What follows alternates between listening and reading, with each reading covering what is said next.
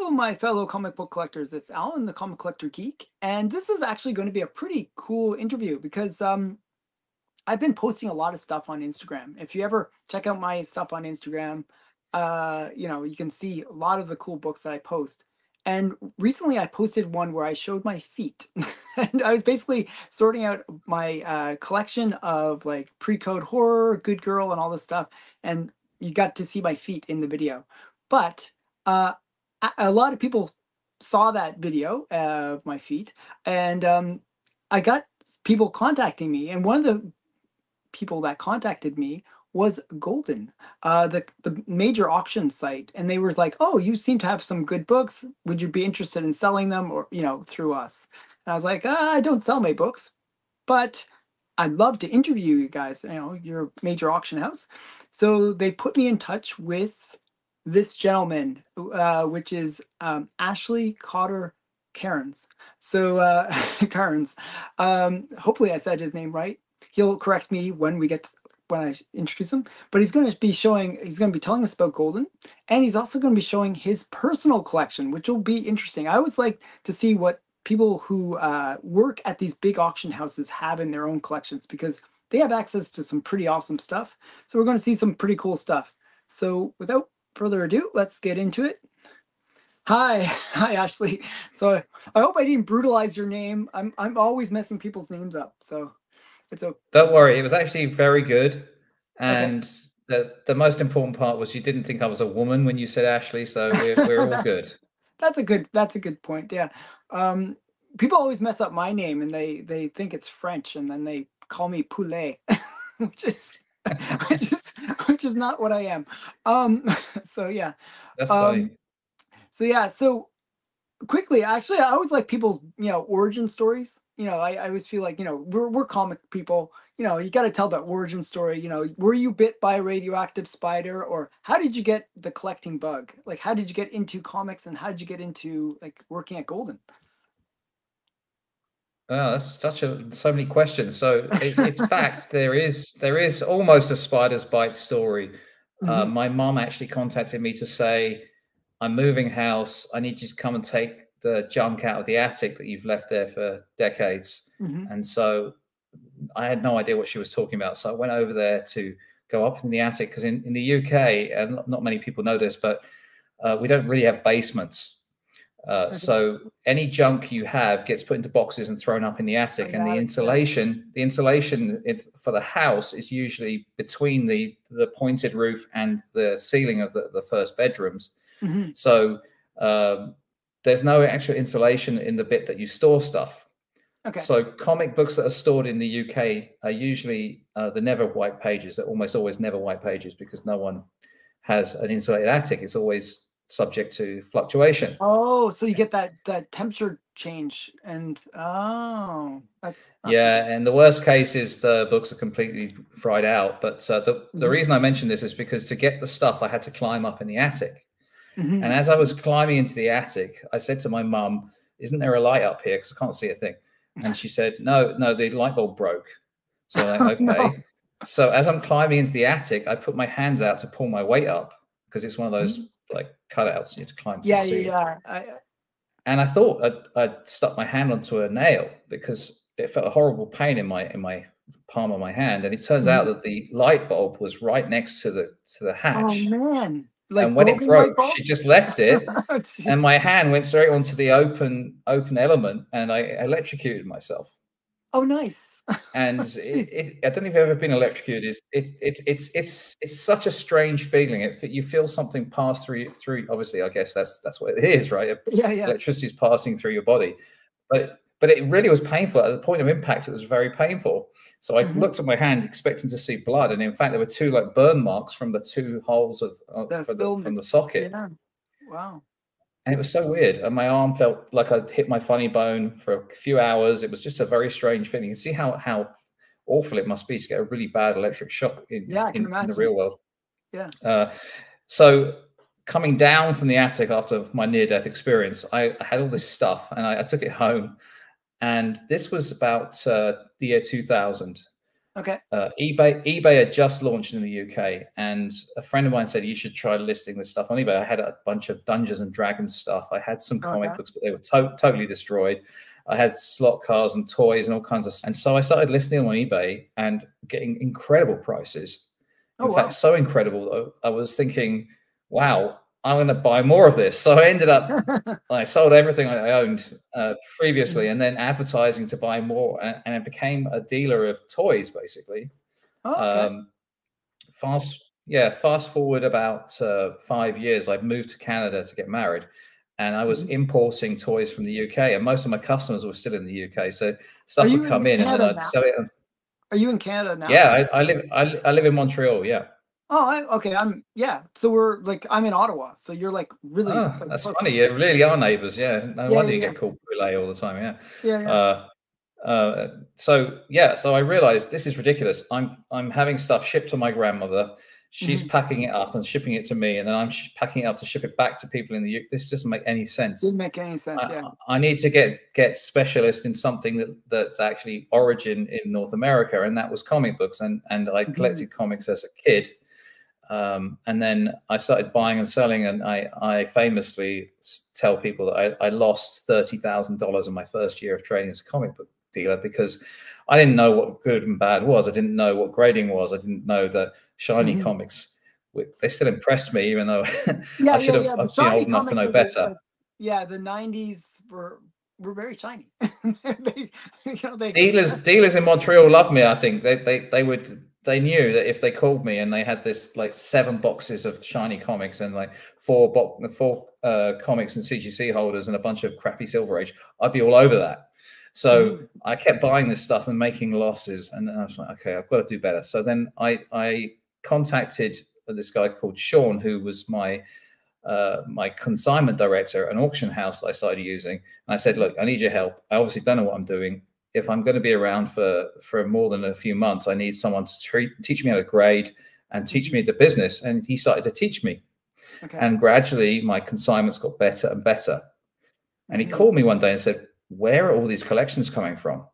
mhm. And I said, Well, actually, I started a website called Sell My Comic Books just because Ah, I was okay. tired of going on Craigslist and competing competing with the same dealers for the same collections that were posted. And I thought um, there must be a better way. So I built a website giving people free comic book pricing advice and offering free appraisals. And then people would sell me their then they'd sell collections and yeah, I'd break them sell it. down and sell them. yeah, that makes sense.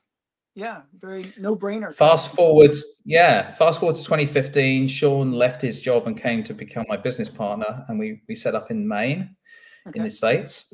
And then in 2022, Goldin contacted us to say they wanted to buy a comic book dealership and we'd been recommended to them. And so they they bought us. And so we now work for Goldin. That's that's that's interesting. So how is it for you? Like what's your experience with that? Like do you prefer being your, your own kind of business owner or do you prefer your relationship with Goldin? Like which do you prefer? Uh, there are pros and cons. I mean, I mean, there, there there are pros and cons to to every situation. I can tell you that it was a lot more stressful Mhm. in in oh a yeah, sort of day to day. it's always yeah, yeah. way. Yeah, running a business seems glamorous if you if, if you've always worked for the man, and then when you Mhm. start a business, you realize, oh, there's a reason that bosses seem to age faster than everybody else. Yeah, is because there's all these extra problems they have to deal with, and you know, one of them being staff, and and another one being cash flow and uh, and Mhm. financing and and- accounts and you know Mhm. taxes, you name it. There's there, there are all those things. So working for Goldin has taken a lot of that pressure off, and all my job now is just to fill auctions with great comic books, and I don't have to worry about all the other stuff that I used to have to worry about.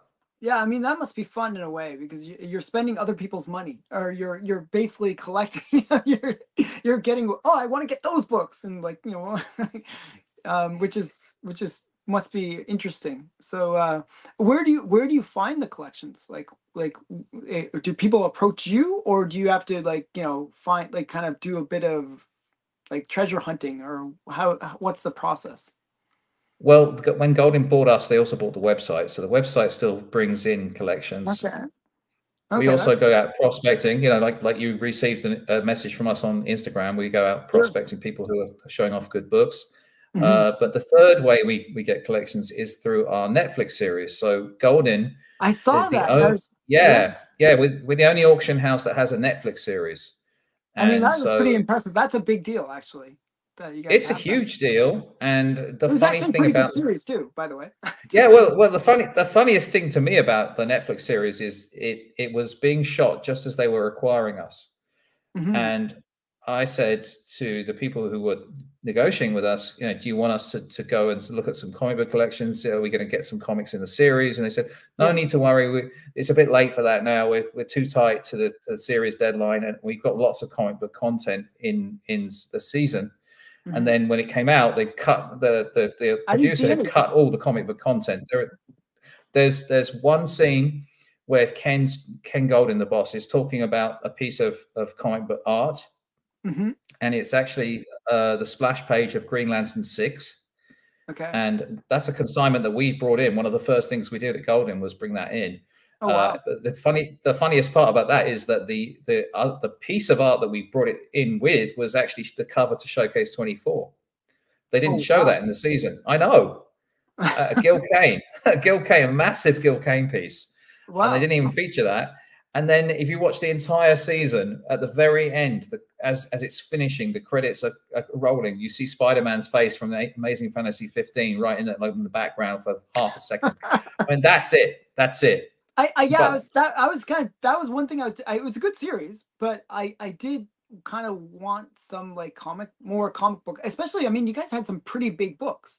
You had the Superman one. That was a pretty big sale. That was a pretty big do to do in the comic book community didn't get a mention? Like that's like that's a big deal. I don't know. I just thought that was we we have we have a lot of comic book content coming in season two. Season two is also okay. longer. Season okay. one was six episodes. Season two is going to be eight episodes. And there's a lot of comic book content in season two. So that is going to bring in a ton of consignments i'm sure like people I can imagine. Go, wow i can't wait. Well, and also you uh, get sort of the the boomer effect where um, a lot of the boomers are kind of either downsizing or croaking. I don't know, like I don't know how to say it nicely, but um, this is I'm why my channel is like always controversial. Okay, so um, but but seriously, you know, it, it's what's happening. Like, and you know, a lot of people don't know what to do with those collections, and seeing a good series where you know people are talking about what do you do with a collection you know i think people will kind of you know go out and say hey you guys handle it. We don't have a clue what we're doing with these books, you know. Um, and I, think for a lot of um, you know people that don't know comics, it's just like the story that you had. Like, you know, you don't know what you don't know. You just you you could you could you could sell like your you know action one for a dollar, not knowing that it's actually something valuable. You know, if if you don't have that experience well i don't think anyone would make that mistake but my point is like a lot of the time um people don't realize what they have. Um, actually, I did hear a story of somebody basically giving away an uh, AF-15, thinking that it was just like, oh, because it's number 15, it can't be anything important. just gave it away. So I've heard stories like that. So um, having a uh, like an auction house that can just basically take it and do all the work. Now, how does that work for like somebody that has a collection? Like, how does like how does the process work? Like, well, yeah, we, we start with asking for a list. Mm-hmm. And if you haven't made a list of comic books ever, it's a daunting task. Mm-hmm. And we, we typically get uh, both extremes. So you have the extreme at one end where people just write down the names of the comic books and they don't even include the, the issue numbers. Grade or, yeah, issue numbers. Yeah. And then you get the opposite extreme where someone spends a month of their life minutely detailing everything about the comic book, which year it was published, who's the publisher, what's written on the front cover. Not not just Amazing Spider-Man, but you know, like uh, oh, the little uh, the, the, horns of the rhino, or something like. They go as far as to to, to write down the the headline on the front cover. You know, Batman: Secrets of the Batcave. You know, people actually do that, mm-hmm. and then and then the cover price and and everything it's it's exhausting you don't need to do all that really yeah, yeah. i've cre- i've created a system to to make a, a quick list i call it a quick list because i'm only interested in the range you have, right? So if you have Spider-Man, say 17 to 250, it's much, it's much faster to write 17 to 250. And I'll ask for the pictures. And if the Mm. keys are there, then I'll see the pictures. And if they're not, they're not. But you won't have spent an hour just writing down all the names of on a stack of comic books this big, and you've got a whole table covered with comic books, and you have to do it for hundred times. Mhm. Uh, I'm trying to get I'm trying to get people to create a list as fast as they can to save as much time as possible, and I'll figure out what's what's valuable. Is there anything like Uh, like um I, I've seen technology where you can take little pictures of the books and it'll actually tell like you know sort of do like almost like a uh OCR kind of thing where it you know recognizes this is the title this is the you know the all the kind of important important details about the book. I mean you can scan the barcodes and do that as well actually.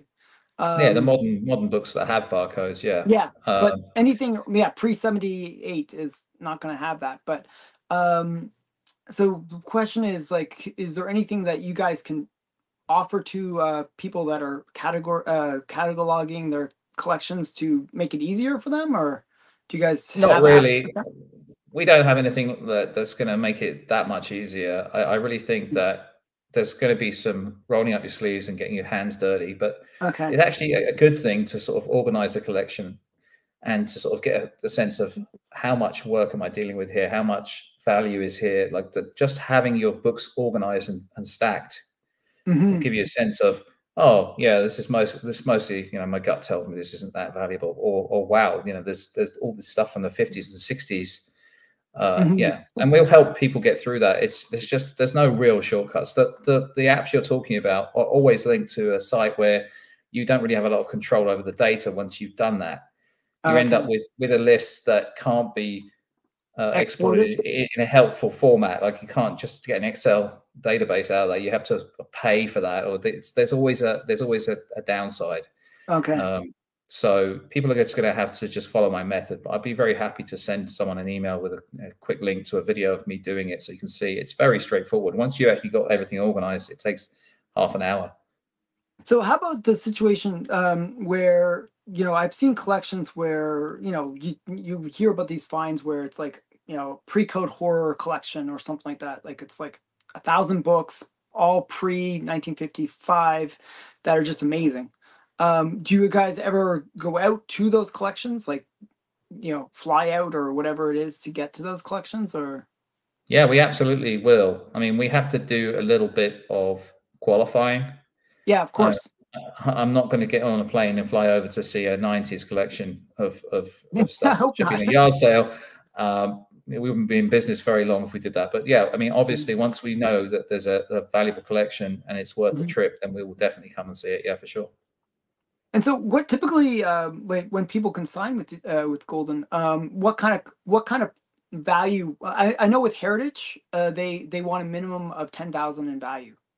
That the collection has to be at least that much before they'll even kind of take interest in it. Is there is there a minimum, or is it just pretty much anything goes? What what how does it work? We prefer items to have an individual value of $250. Okay, Uh, we will take we'll take a collection that has key issues and then lock the other stuff up. So if if you're if you're looking at say a Silver Age collection and there are 50 books in there which have an average value of $500, we'll just take the rest of them and make them into lots of 10 or 15 books, and people will be very happy to bid on those raw lots. Yeah, Uh, one, one, one thing we do for people, which is really important, is that we'll pay the CGC grading fees up front oh nice. and then you, you don't have to pay it until the books sell. So uh, a lot of people don't realize how expensive it is I to, I, to, to grade books. Yeah, and, and and that money's tied up until you know however long it takes CGC to they, they charge you before they perform the service. And do you guys So- get, have any special connection with CGC where you get things processed through their system a little bit faster than the average Joe? Um, I I can't say okay, okay, we'll just on camera. Let's just say yeah, yeah. though that it's some, sometimes surprisingly quick when when uh, Okay, oh yeah, that's fine. when we That's send fine. things. We, we don't know. It- Maybe. Yeah, yeah. Okay, maybe. Okay, so um, yeah, so I, that's actually a really good thing because uh, one of my friends he he got his Seven Seas collection and uh, Phantom Lady and some like early caps, uh, all all CGC'd, and he got like this bill for like five thousand dollars. It's like it was just he was like, "What?" well, it's, being being more practical about it, Alan. Imagine the mm-hmm. situation where Uncle Charlie's just died, and you're clearing his house because you have to sell it to meet the estate taxes. Mm-hmm. Uh, at that point, quite often we get emails from people saying, "I need to pay funeral expenses. I want to sell this stuff." Yeah, yeah. They don't have the money to certify these books. Yeah, and and they need and, to be certified sometimes in order to properly sell. So, well, yeah. you're going to get more more money for most of the key issues, especially or very high grade books, mm-hmm. than if they weren't certified. Because most people won't pay the same kind of of percentages. Like they'll look at a book and go, "Well, what if it's restored?" Or you know, I can't see all the damage. Like, what grade is it? You know, images aren't mm-hmm. always the best. You know, it's not it's not an easy thing to do to buy a book online without a, a, a certification is a risk. Mm-hmm. And is it ever the case that Goldin will actually just buy the collection, just say, okay, here's what we, you know, here's what we're willing to give you, and then they just buy it and then sell it for themselves, or? I'd never say never, mm-hmm. but we're, we're primarily an auction house. We are a consignment partner. Okay. We're trying to get the most money for your collection that we can, mm-hmm. and that benefits us because we get a buyer's premium. Of course. Uh, and I how, don't how is the think we typically we don't. Well, I'll explain that in a second. We don't typically okay. buy collections. Just to finish answering question, once mm-hmm. in a blue moon, somebody will approach us with a, a, fully certified collection. They just want immediate cash. We'll talk to you for sure. Okay. Yeah, because that's. I mean, that's easy. It's almost like you know, once it's certified, it's it's pretty much a commodity at that point. You know, this book is worth this much based on past sales records. But um, what is the what are the what are the fees i guess associated to somebody selling their collection through you guys well the first important thing to note is that the seller doesn't pay a fee the buyer pays a fee oh that's so if, if, if you're selling a collection let's that says $10000 collection uh, you'll mm-hmm. receive the $10000 of hammer prices the buyer would mm-hmm. pay a 22% buyer's premium right so mm-hmm. the buyer would pay twelve thousand two hundred dollars, and the difference will be our profit um, okay. after after our costs. Obviously, the only fees you'd receive is is the CGC grading fees, mm-hmm. which would be whatever they charge us, we charge you, mm-hmm. and whatever it costs you to ship the books to us. Okay, so that's that's reasonable. I mean, that's very fair. And so basically, the the the the seller, the you know the collect whoever has the collection gets the the hammer price and the That's buyer's right. premium is your your your well your profit basically on that. That's right. And and for That's, higher end collections, we will give you a piece of the of the buyer's premium. Very nice. But we're we're talking about probably twenty five thousand dollars value Plus. and up. Yeah, yeah, yeah, yeah. Of course. You uh, know, and we will negotiate with you directly on the, on each you know, case, depending on, uh, for example, an action one is going to get a large slice of the buyer's premium. Yeah, so that's good. I mean, that's fair in a way because those bigger books, it's like you know that's that can be hundreds of thousands of dollars actually right. just on the buyer's premium. So, um, what speaking of big books, what are some of your favorite big books that have been sold through Goldin? Wow, that's a great question. We've sold some incredible books. We we've sold in my first few months at the company. We sold an Action One and a Detective Twenty Seven in the same auction.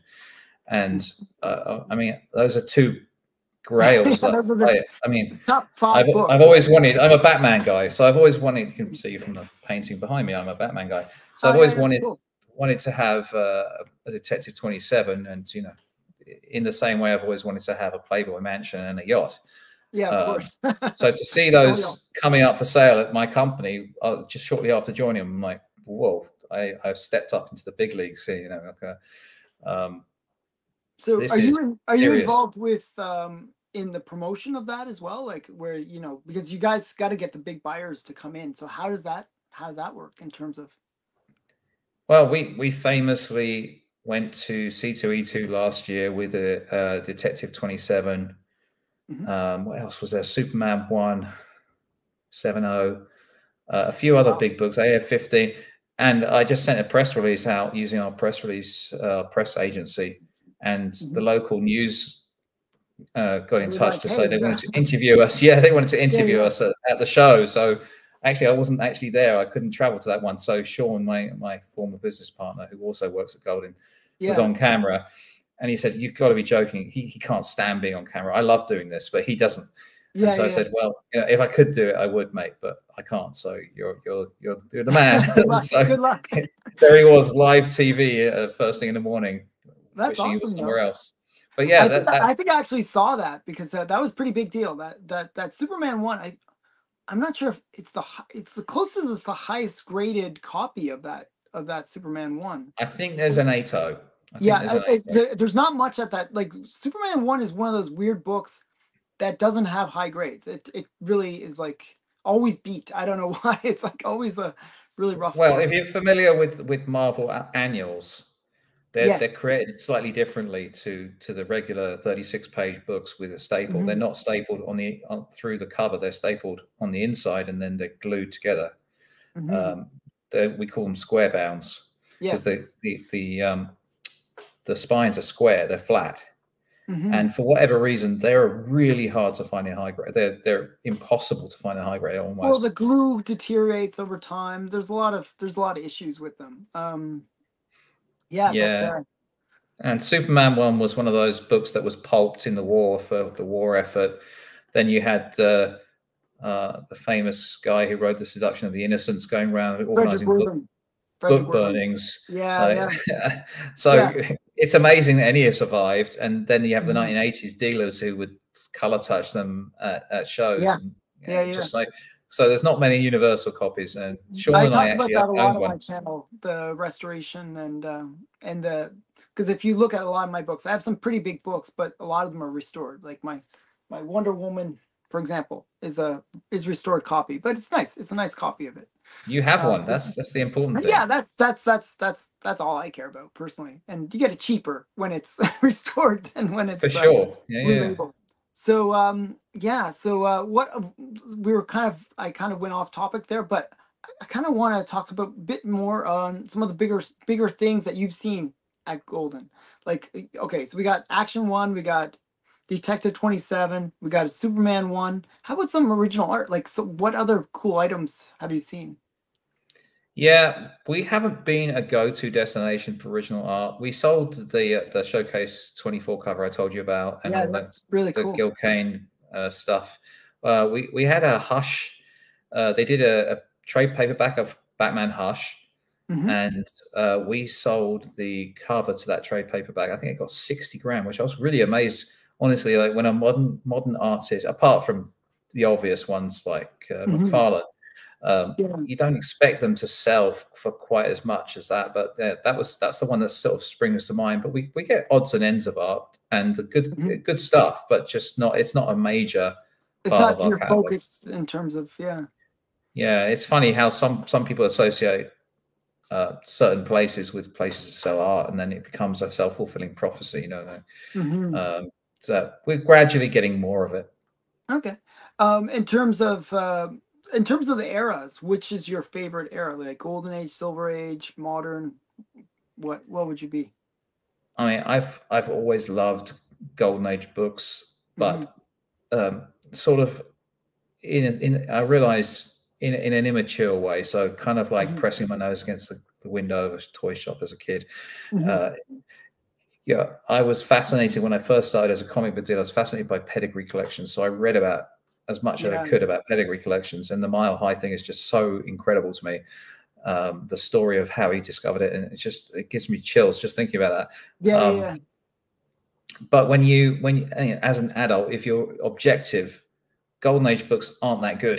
like if you start reading them, you're like, hmm, the stories well, are. it depends on the stories. It depends on the yeah. It depends on the books. Yeah, I think I think comic books kind of grew up in the 80s, and mm-hmm. you know, for me, that the the the spider's bite of of superheroes was when Tim Burton did the Batman movie, and mm-hmm. you know I grew up watching Adam West and Burt Ward. I loved all that stuff, mm-hmm. and I mm-hmm. had the, the little toy corgi toys. You know, I loved it. Oh yeah, yeah, they're cool. But then you know I was 19 years old when that that movie came out, and suddenly I was like, oh, okay, Batman can be dark and and dreary and also sexy and and really tough and like yeah, instead yeah. of you know camp and and yeah, well, uh, Silver Age really campified Batman. You know, it, he became very campy uh, hero at that point. But uh, mm-hmm. uh, yeah, I, I do like the gritty side of Batman, but I, I felt like DC went too dark almost. You know, I felt like they I don't know, Marvel went too like jokey and like that way. Somewhere in between is what I'd like, you know, serious but not like like depressing. I don't know how to say. My my first big collection um, was a Silver Age collection that had pretty much full runs of Marvel, but they all had cutouts. So uh, oh, every oh, wow. second book, someone had cut pieces out of them to make a, I guess, a scrapbook or something. And so I had to check each one to make sure they were complete. And so mm-hmm. I was also just teaching myself how to press comics. And so I would sit in the shed in in mm-hmm. in my garden in in winter, try, keeping warm by the, the press and mm-hmm. reading the books. And I actually think that although storytelling has definitely improved since the 60s, I mm-hmm. like the early Marvel, like this Spider-Man, the Fantastic Four. That's what I grew up collecting, Fantastic Four.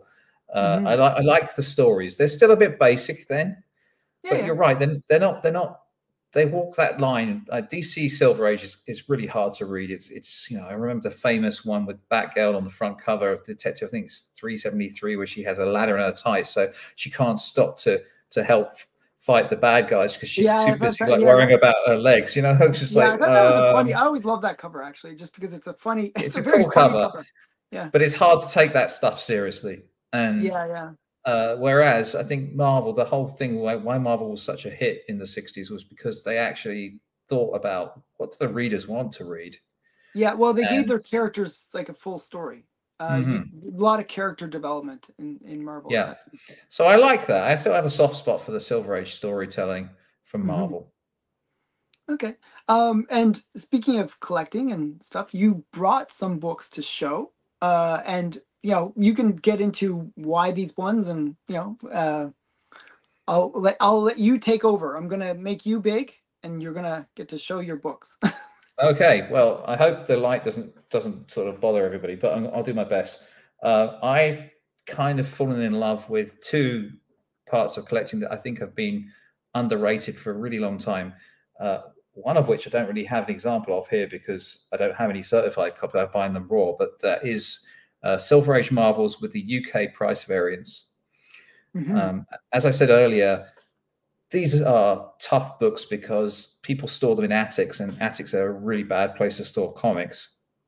And when you look at the CGC census numbers, the UK price variance of things like Spider Man or uh, Daredevil, whatever, are very low. If you look at X Men number one, I think it's two percent of the census is a UK price variant, and the highest yeah. is something like usually a, it's one in fifty five. Yeah, usually yeah, yeah, and and and the highest graded are never very nice. They're always mm. VF or my, or lower. I think there's one there's one exception that has like a nine two in the census, but the the highest ASM one is uh, eight five, I think. Wow. Um, yeah, and and so I started collecting those. I can't show any picture of those because I didn't certify any of those. I've got them all raw. But I do have my other collection here, which is uh, some examples of I like collecting key issues that are foreign examples. So mm-hmm.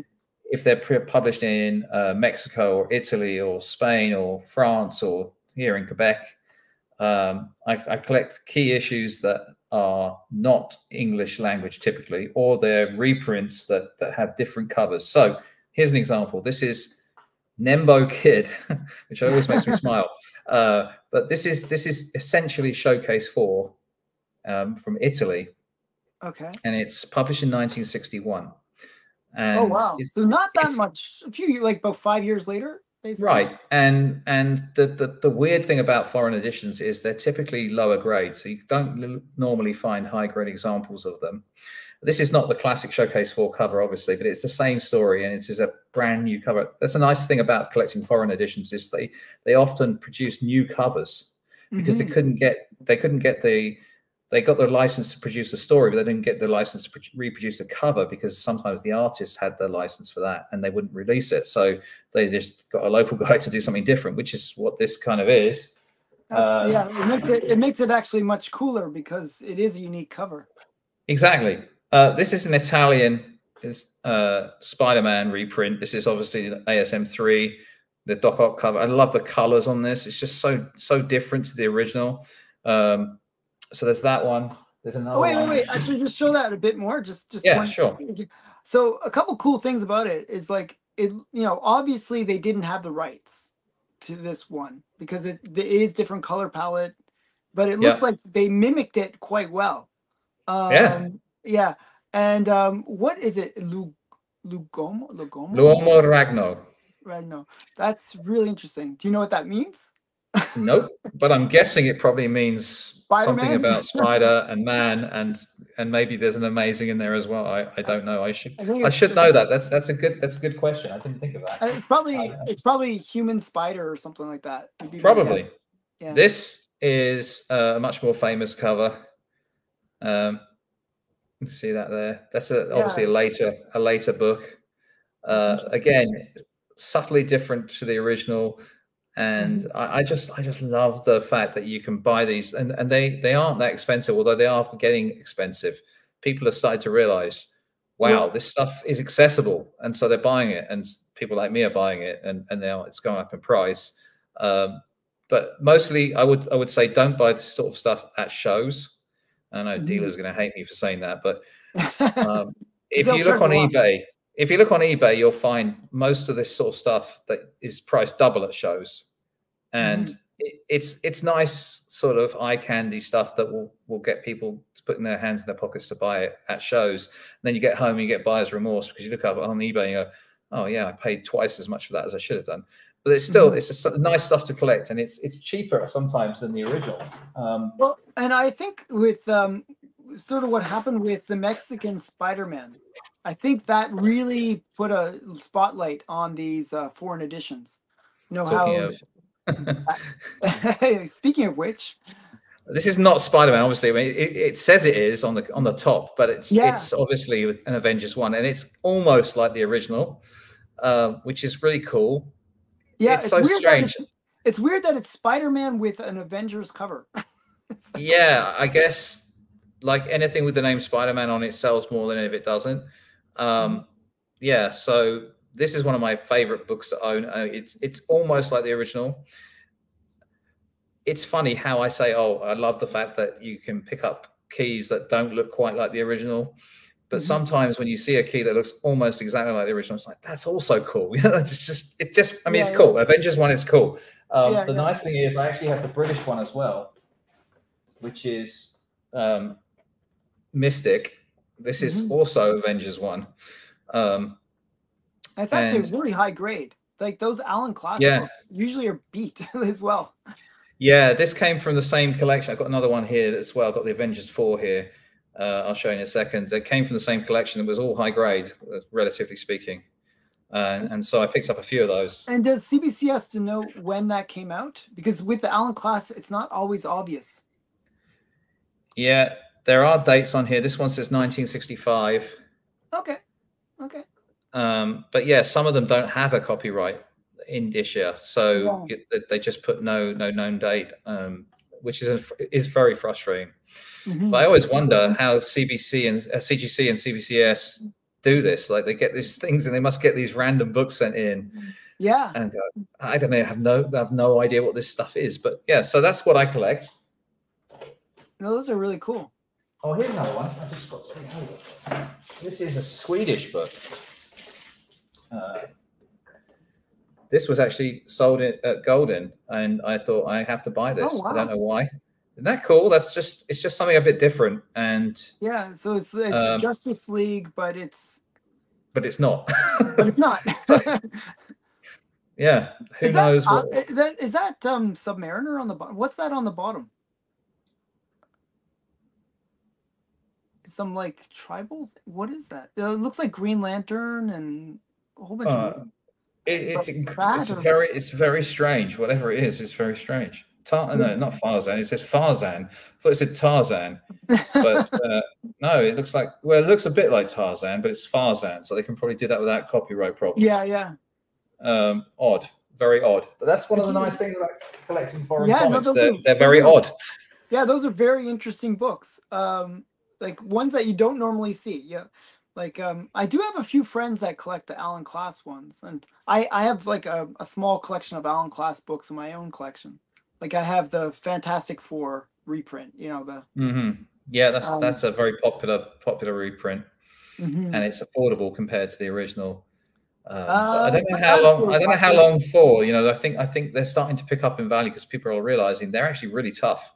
Yeah, no, And no. Um, and there's a lot of UK collectors that really just focus on that, and they um, they they have some pretty interesting collections actually. Um, Mhm. But uh, yeah, so um, uh, uh, do you ever like see auctions at Goldin and you say, "Oh, I want," yeah, or you- or you actually try to maybe pick up a couple books from your own from your own thing? Well, firstly, I should uh, I should uh, underline the fact that I am not allowed to bid on my own consignment uh, Oh, that sucks. books. Uh, well, it's it's obviously a fair thing, right? It's it's Yeah, yeah, yeah, well, it makes sense. conflict of interest. Yeah, so yeah. if, if if you consigned a bunch of books and I bid on them, that would be considered a conflict of interest, even if of it was course. purely for genuine reason, which it would be. I, I'm not not a criminal. I would just want to own them.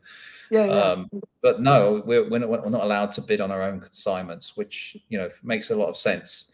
Yeah, you have to keep sense, yeah. You have to keep a distance between yourself and and your consigners, and and know because people could be accused of shill bidding or whatever. Well, yeah, yeah. You could bid it up, and then that's yeah, that's not fair. But But for sure, there are there are books that sometimes come up in auctions, and I go, I definitely want to own that. Like this, the Gigant one, like that was I didn't know that was going to be listed at Goldin, and it showed up Mhm.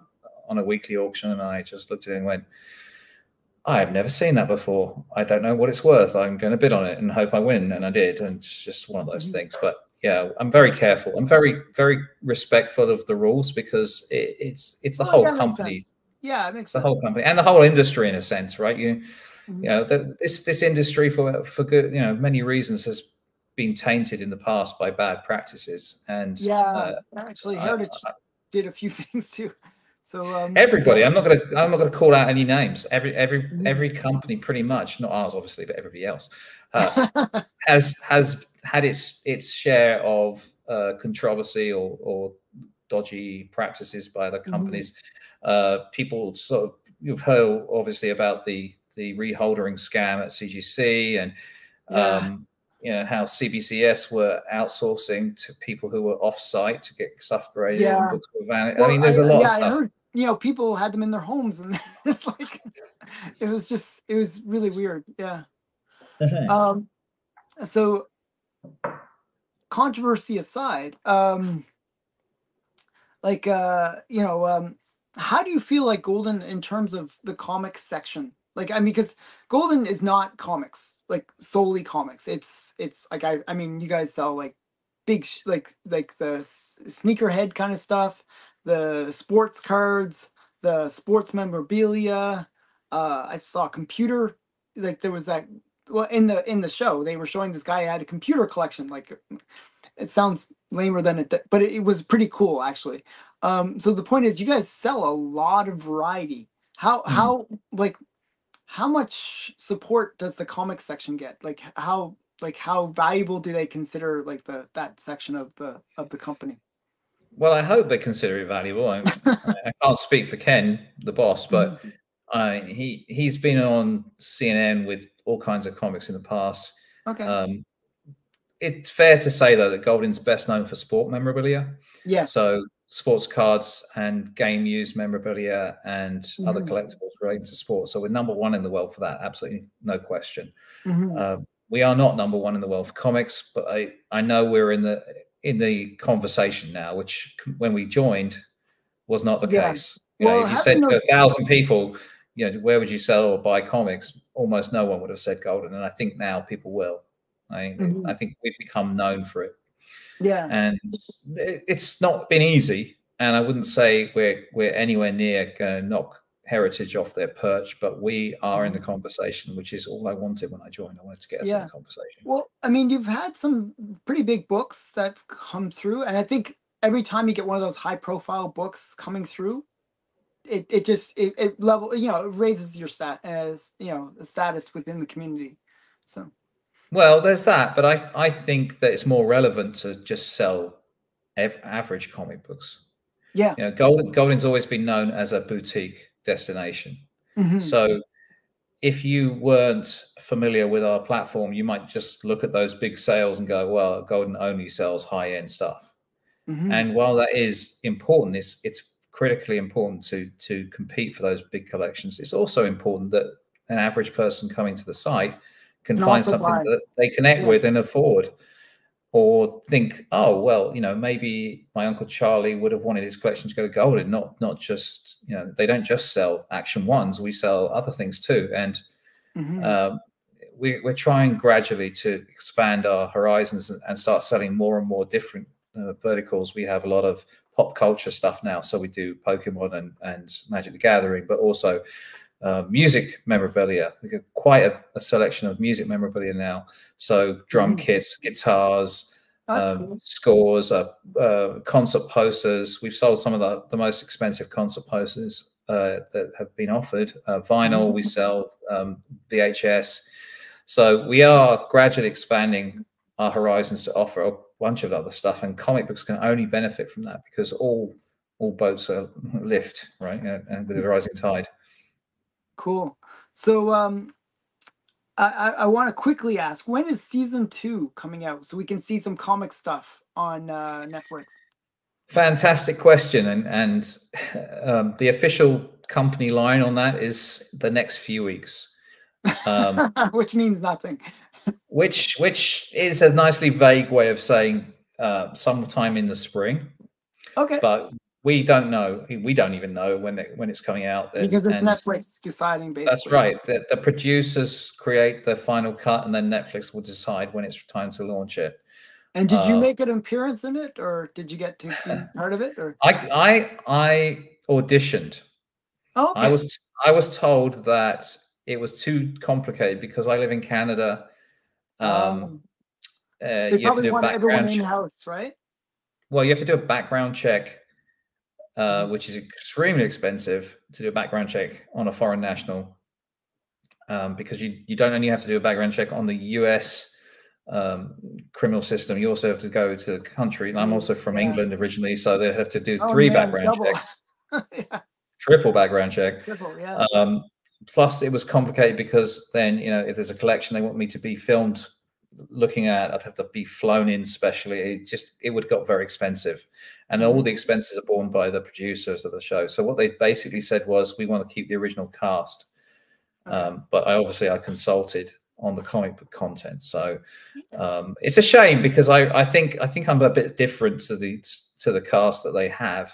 Mm-hmm. you know we mm-hmm. typically like a bunch of new jersey beefcakes in suits. Yeah it seems like and, that yeah and I, am just sort of dry and sarcastic, and and I think. Well, you got been... the British British uh, sense to you, yeah. Yeah, I wanted to be the James Bond of comics. You know, I think that would have been a really funny angle. Uh, yeah. There was a scene at the New York Comic Con. They were filming at New York Comic Con, and they got this big consignment, and they, and uh, they all did a bunch of high fives. And I, if I'd been in the show, I'd have just been like, "There's no way I'm high fiving you guys. You must be joking. British people don't high five."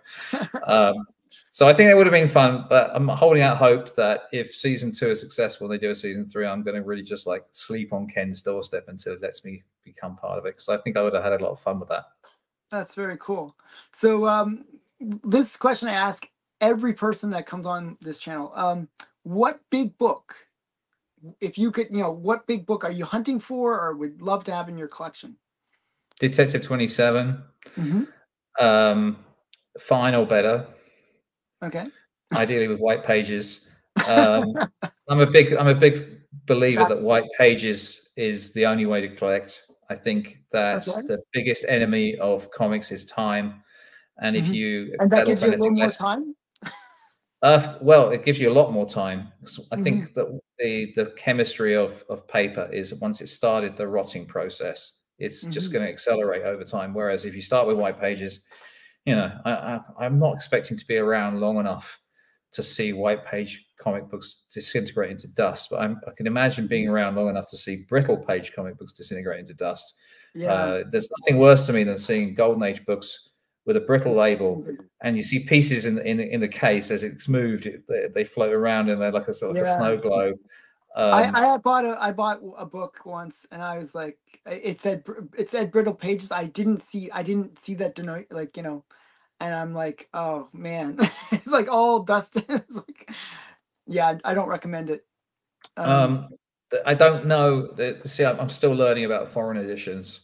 Mm-hmm. So I don't know what the equivalent of a Detective 27 or a Batman 1 is in Lithuania or, or mm-hmm. um, Saudi Arabia, but there must be those incredibly rare key issues that exist you know so so one of the things i'd love to be part of if someone is listening who sees this and goes oh that's a good idea a catalog of of the key issues of foreign countries that people yeah. could use and they go oh great finally i can see what i'm after you know at least i well, know what it looks like if i see it you know that's the thing i don't even know like sort of um, a gerber guide to like uh to the foreign editions would be really interesting without trying to be too completist uh, let's be frank. Most people don't collect every single issue in a run. They collect keys, and mm-hmm. and I I always felt like the Overstreet price guide should have been the Overstreet key price guide. You know, because most people are looking for keys. So just carry mm-hmm. around a much thinner book that just covers all the keys, but in more detail. Yeah, and that that seems more relevant to me. Uh, but yes, a foreign a foreign catalog would be really awesome because it would put uh, those targets on people's radars at least and and probably flush a bunch of them out because people would suddenly realize oh that thing i've been yeah. carrying around since i was a student value, is actually yeah. worth something yeah yeah exactly so um actually you know it's interesting um i i collect warren magazines i'm not sure if you're mm-hmm. yeah familiar with but um i actually created a catalog myself of all the foreign editions of the warren collection Wow. Okay, that's really cool. So, yeah, yeah. Like um, uh, and I tried to get most of them. I actually have most of them. I'd say ninety percent of them. Um, but um, it's it, it's challenging because then you you you you'll find like oh this really obscure country all of a sudden had a had a printing of it that you never heard of. You know. And it's mm. you're, it's always like something uh, you know always coming out of the, the cracks kind of thing. It's just like all these um, foreign editions. So I think it would be a real challenge to do the same with the comic version of that um, because mm-hmm. they like I think they you know Marvel was pretty um, lenient about uh, you know anyone that gives them money they basically say oh sure you can go print it in your country. Um, yeah, sure. Let's let's bring let's bring Gwen Stacy back and let you know. Yeah, exactly. You know. so yeah, so that kind of thing. So uh, but um, yeah, um, that's that's really cool. So, um, so what, what's the what's the rarest uh, foreign edition uh, of uh, a Warren magazine?